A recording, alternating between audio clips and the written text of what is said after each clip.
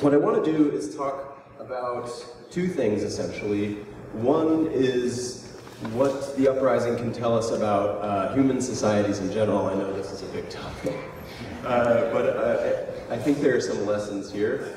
Um, and then also explore some of the, the legacies. So uh, the, not only the events of the uprising itself, but how, uh, what role it's played in Slovak society um, in the 75 years after. I think that the uprising is a great example of um, a situation of moral choice. Um, and this is a really common theme in the history of World War II more generally. Um, a situation of unparalleled destruction, a situation of massive political disruption, uh, where people are forced to make complex decisions at a very fast clip under immense pressure and danger. Um, there have been a lot of stories here about uh, the uprising as a reflection of striving for human dignity and for self-government, and I don't want to uh, I don't want to lessen um, the, the, the power of those stories and take away from them. But I'd ask that we just shift our perspective to examine um, some of the broader considerations that folks may have been weigh, weighing during this period. So. Um, the first story I want to share is from this gentleman, uh, Gideon Frieder, uh, who um, is a, a, Holocaust survivor and volunteer at the museum where I work, and he's also a friend and colleague. Uh, he uh, is the, the, son of Abraham Frieder, who was a very prominent rabbi in um, Slovak society during the war um, and, and, the years prior. And because he was so influential uh, and and well connected, he uh, was able to uh, receive an exemption from deportation, and he remained in Slovakia um, working on, on various efforts to save the, the, Slovak Jewish population throughout that period. This really changed when the uprising broke out. Um, as German forces occupied the country, uh, the situation for Slovak Jews who had remained in hiding up until this point got drastically worse. Uh, simply because the Germans were now occupying uh, the country. Uh, it's worth remembering that there weren't that many of them left because most of them had been uh, deported in 1942, about, about 50,000. So there are about 10 to 20,000 uh, Jews, give or take, left, left in Slovakia at this time. Well, Gideon suddenly finds himself alone after his mother and sister are killed in a bombing raid. Uh, his father disappears um, somewhere uh, in, in Bratislava, and suddenly Gideon is by himself um, in the mountains of central Slovakia and survives miraculously by the aid of a partisan who places him in the company or the home of a, a Slovak um, couple in the village of Buli, um, Polina and Josef Strycharczyk. Um, and this is an amazing situation uh, for a number of reasons.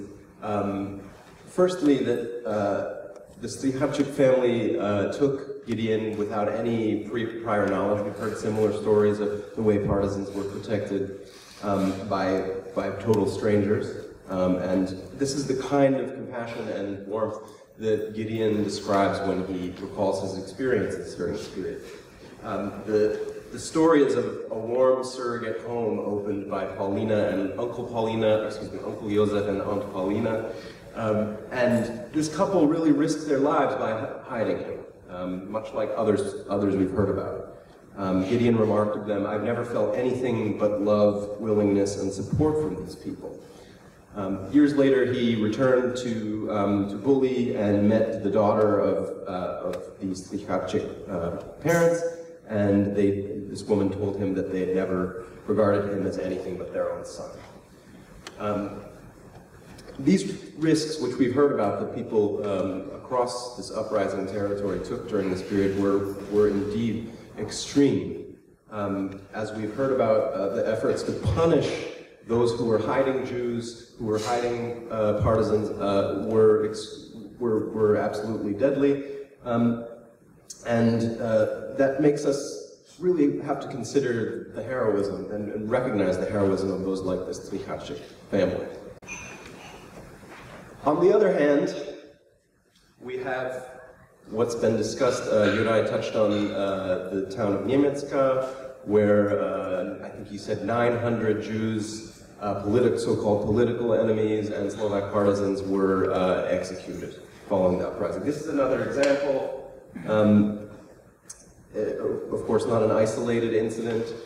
Um, and this, this type of terror was, of course, common, as we've learned today. Um, but what I want to point out about it is that, that it was a, a Slovak who was uh, indeed responsible for this, uh, or in part responsible for the, the massacres in Kremnička and in Nemecká. Uh, Ladislav Nižňanský uh, was uh, a career officer in the Slovak army, and he was, in fact, a commander during the Slovak national uprising. After he was captured in November of 1944, he was given the choice to go to Mauthausen or to Flossenburg like his colleagues, or to join one of these units that were uh, seeking to uh, murder Slovak Jews and other so-called enemies alongside the Germans. So we have these two stories. Now, what, what do we do with this information? Um, what are the considerations that uh, individuals uh, take with them when they're faced with this kind of danger? Because both the Strihaček uh, uh, couple and Ladislav Nižňanský face a similar threat of death. Um, and I really want to point out that this incident, this event, this massive revolutionary upheaval uh, that seized Slovakia in, in 1944 has to put, uh, has to highlight the types of choices that they, that it what those types of situations require of people. Um, by the way, was, uh, he never really had to pay the price for his actions. He was acquitted in, in 2009 uh, for lack of evidence. Um, there is certainly plenty of evidence. Um, moving on to a broader frame. So beyond these two individual stories. Why did people well, let me, let me start with a number. The population of wartime Slovakia is roughly 2 million. In the days before the uprising, we have about 10,000 people working within the resistance, uh, working to oppo actively oppose the Slovak uh, regime under Josef Tiso. 2 million people, 10,000 uh, brave resistors without denigrating the, the memory of those who, who were already very committed to the resistance, I think we have to look at those numbers and scratch our heads a little bit. But I, there's very good reasons for this low participation in the resistance. In, this is, of course, before the summer of 1944. I'm talking about for the duration of the war, or the earlier part of the war. We have to look at the policies of the Slovak uh, People's Party, the policies of the Tiso administration to, to understand why people uh, were unwilling to oppose them. Unlike in Nazi Germany, uh, you were unlikely to face the threat of death uh, in Slovakia if you opposed the Tiso regime. Uh, there were various measures taken, especially in the early days, for opposing um, uh, this, the, the policies and, and, and, administration of the regime, but it's not like in Nazi Germany where you will be outright executed if you don't fail to pledge allegiance to the Fuhrer. The Slovak People's Party worked to win supporters with populist promises. It appealed to particularly the Slovak peasantry with an argument that elites in Prague uh, and, and elsewhere abroad wanted to deprive them of prosperity, of religious freedom, and at the same time they demonized uh, Slovak Jews in such a way to gain favor among the public. They targeted this uh, tendency that existed within the Slovak population to blame uh, the, the Jewish minority in Slovakia for uh, social and uh, economic problems that they saw happening around them. The state's propaganda slogan of a dream of smiling Slovakia implied a guarantee and increased expectation of a better living and profit at the expense of, guess who? Slovakia's Jews.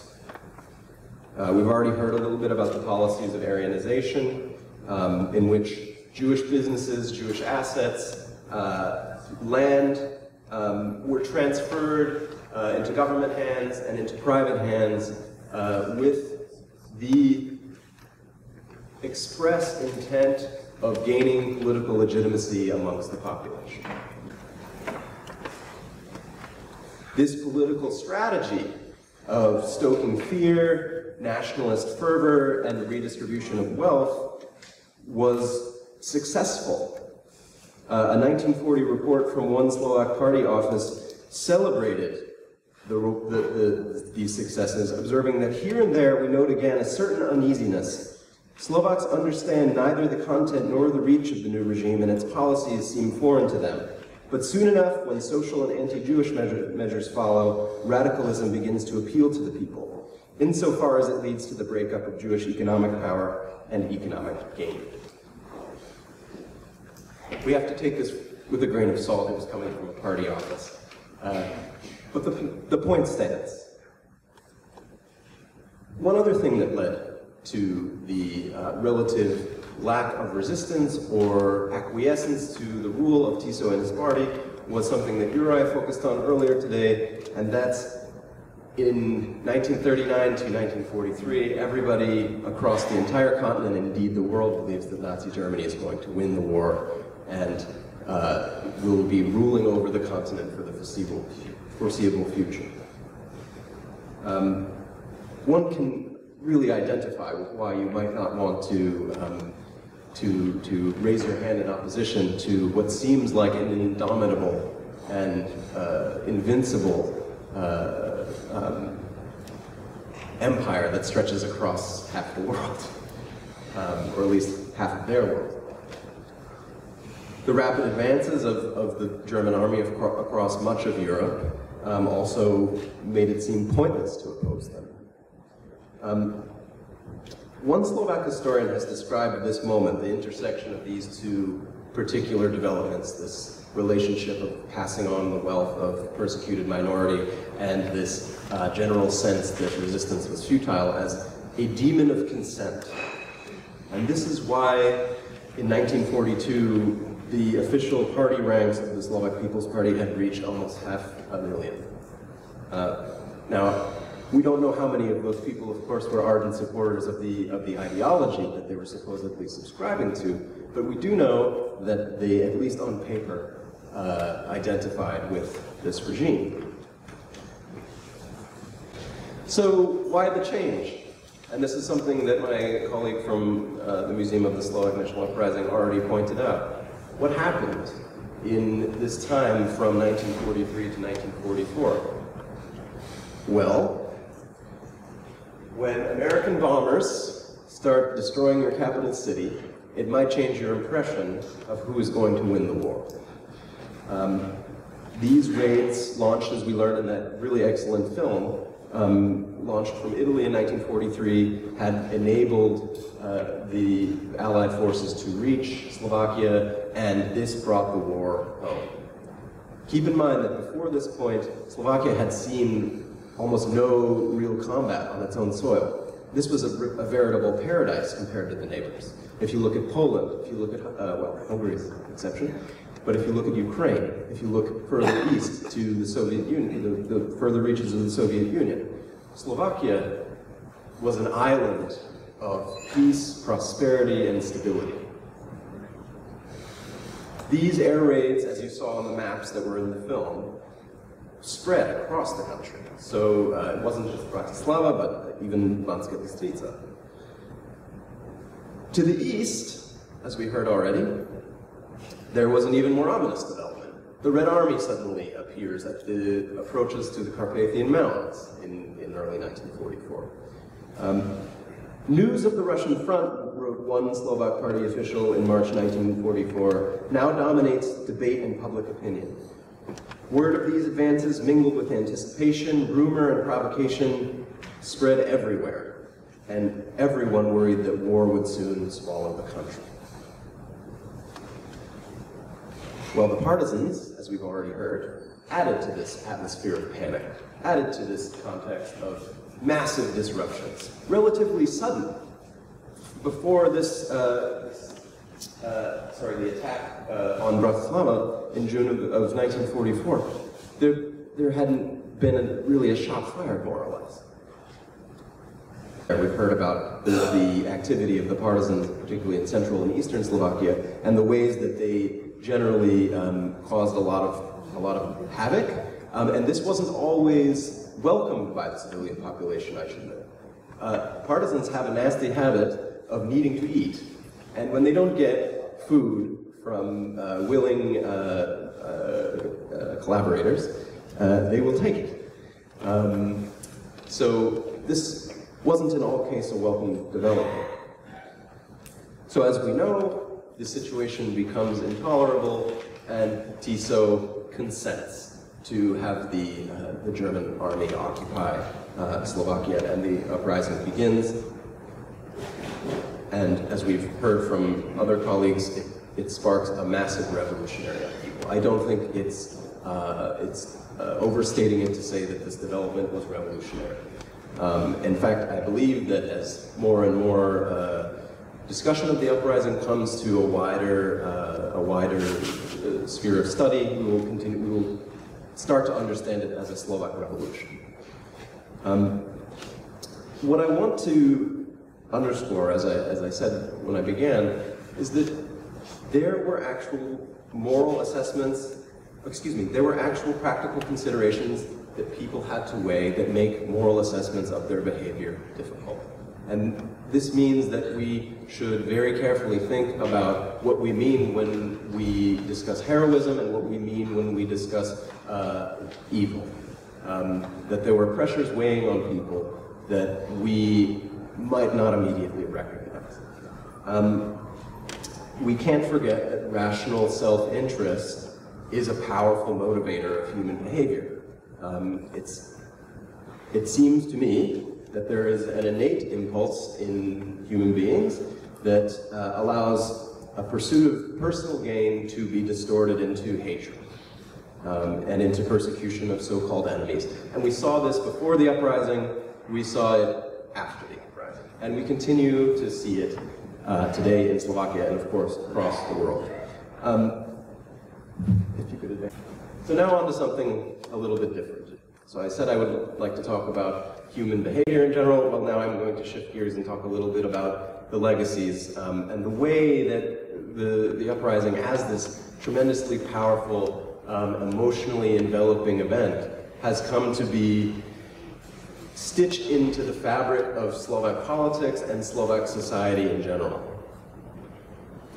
Well, we know, at least a little bit, uh, that this has always uh, been a source of discussion and debate. Since 1944, people have been talking about this event in Slovakia, and um, the enduring importance of this event in, in European history is, is quite uh, well established.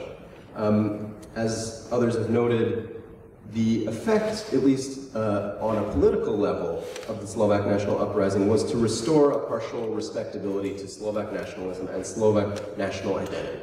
Uh, before 1944, uh, to emerge onto the world stage following the defeat of Nazi Germany without the uprising uh, wouldn't have been a possibility. Um, my research on these legacies has uh, tried to explore how this event, in its commemorations, as you see here, uh, the first annual uh, one on August 29, 1945, um, have been used by political actors to pursue uh, certain agendas. Um, now, we heard before that the primary forces, political forces remaining in Slovakia in 1945 were the Communist Party and the Democratic Party. Uh, the other pre-war parties had, had been totally wiped out. Of course, you couldn't be a member of the Slovak People's Party in 1945. And as, as we can see here in the photo at, um, at your right, um, this was a, a, a, broad coalition. We have um, third from uh, the left uh, is Gustav Husak, one of uh, the most prominent uh, Slovak politicians in history, and also uh, a chief uh, organizer in the Slovak National Council and an organizer of the uprising also. and of course, to the right, you probably recognize Edvard Beneš, um, standing on the same stage celebrating the, the, first anniversary of the uprising and Um, according to one observer at that event, uh, excuse me, they were gathered to celebrate, quote, those acts by which we protected and laid a firm basis for the integri integrity and indivisibility of the Czechoslovak Republic. Um, so this was a, a public ritual that was about reconstituting the entire society uh, as a, recognizing its Czechoslovak character. Um, and as Johnny, I appreciated that you pointed out in, in your last remarks that there was uh, certainly an emphasis on Slovakia's uh, sovereignty within that body. So we're not simply talking about the pre-war pre version of uh, Czechoslovakism, we're talking about Czechoslovak brotherhood with space for, um, for, for a distinct Slovak nation, and that is very, very important. Well, I'm sure it won't surprise you that the communists and Democrats didn't get along uh, very soon after this. And uh, as Juraj alluded to in his, uh, in his remarks, this failure of the, of the, communists to actually win power in Slovakia via the ballot box left them with dirty tricks. Um, and one of the dirty tricks, interestingly, they found to be quite effective, was to accuse uh, Slovak democratic leaders who had been very active in this rebellion, in this revolution, of being reactionary, of being traitors to the uprising. And in many cases, even, uh, cases, even suggesting that they had somehow attempted to sabotage the uprising uh, during, uh, you know, during its, its course. This was an attempt to limit the influence of Democrats in Czechoslovak and Slovak society. Well, it worked. This wasn't the only tool, it was one, but through events like the, these anniversaries, which happen obviously every year, uh, speakers like Husak and others were able to use the events to highlight a new meaning for the uprising, to articulate a different position about who had been uh, really uh, to thank for the, the glorious events and, and revolutionary change that, that, that had unfolded.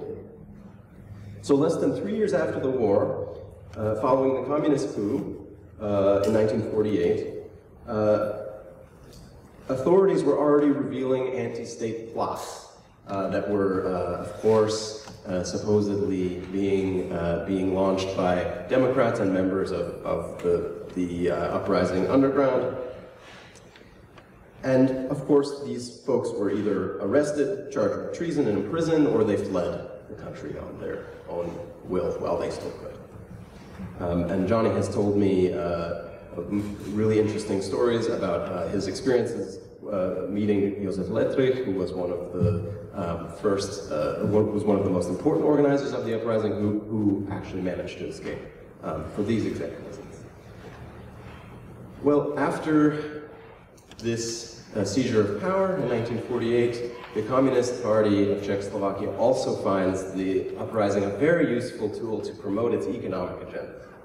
This is uh, very classic uh, uh, Soviet-era propaganda in Slovakia, shows industrialization of, of, the kind that you think of when you think of you know, Stalin's rule in the satellite countries and uh, in the Soviet Union in general. We're building huge plants, we're building uh, new roads, we are re uh, rejuvenating the Slovak economy in the spirit of the Slovak national uprising.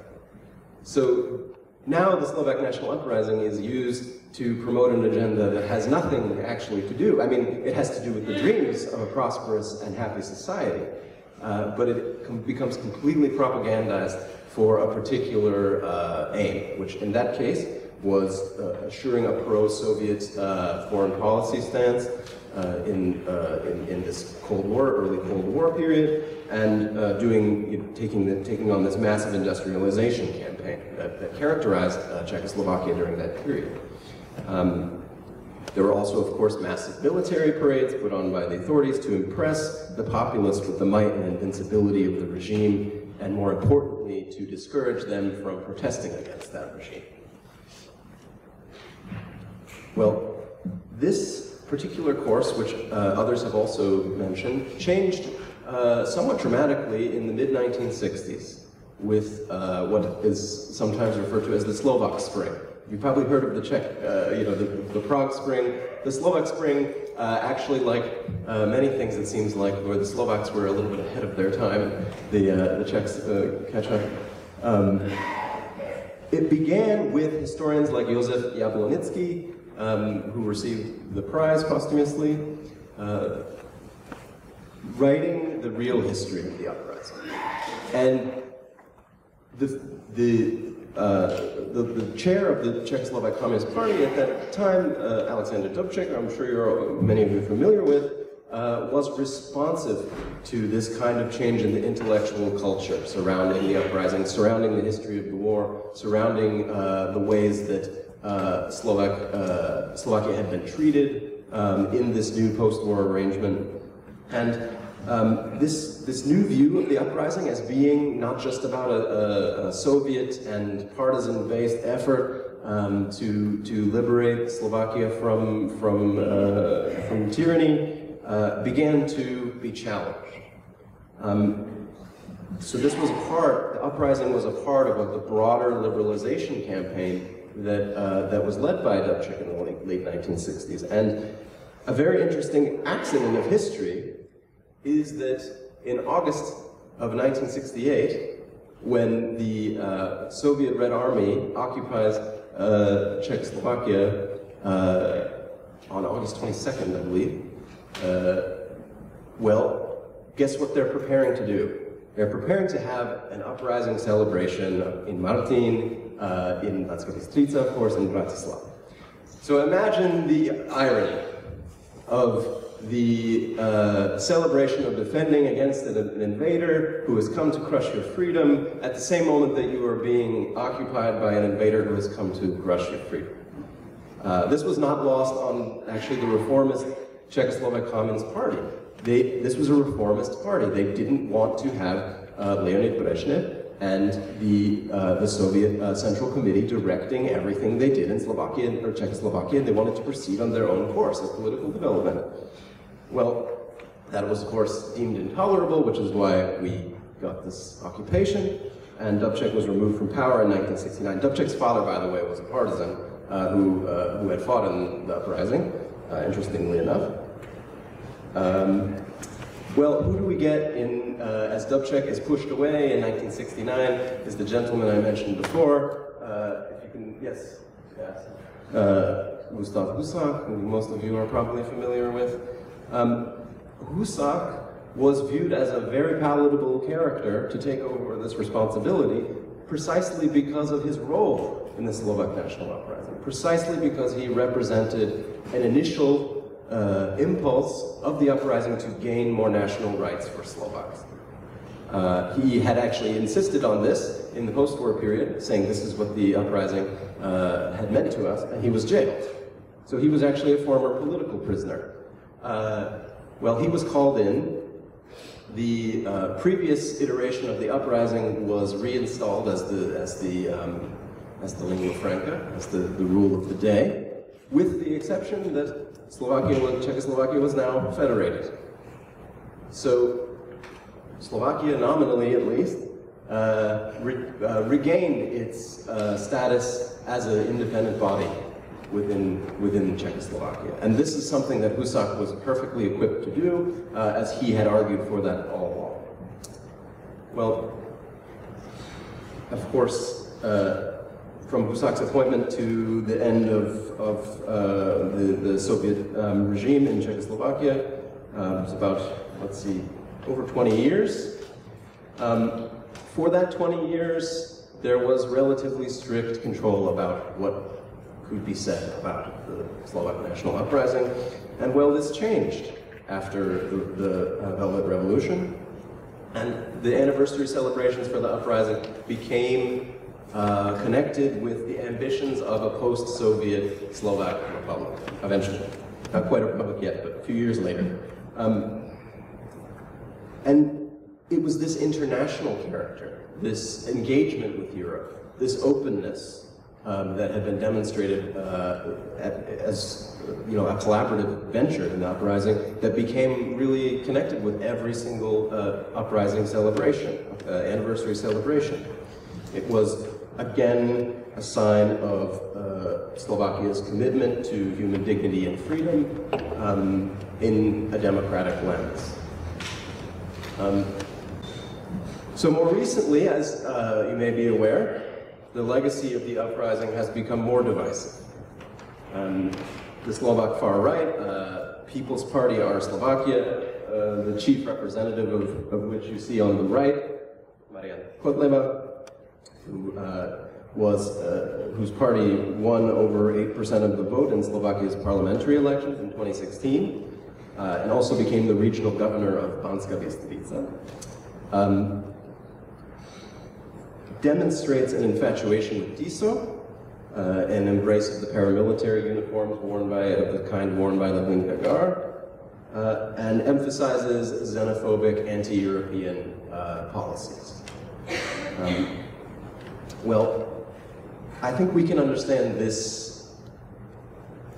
this fascination, this, uh, this adherence to uh, a, a, an aggrandized memory of the Slovak state as a, a another a, opposite pole to the celebration and remembrance of the Slovak national uprising. These are two big, important historical phenomena in Slovak history that have now become opposed.